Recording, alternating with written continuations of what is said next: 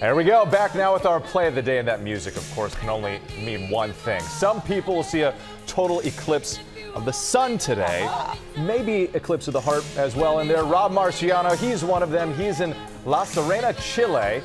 With more on that, Rob, good morning.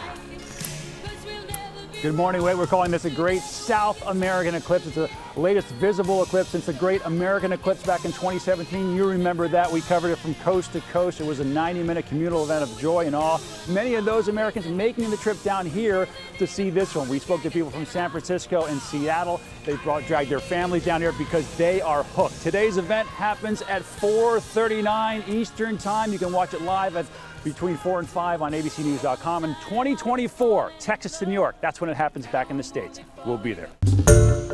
Hi, everyone. George Stephanopoulos here. Thanks for checking out the ABC News YouTube channel. If you'd like to get more videos, show highlights, and watch live event coverage, click on the right over here to subscribe to our channel. And don't forget to download the ABC News app for breaking news alerts. Thanks for watching.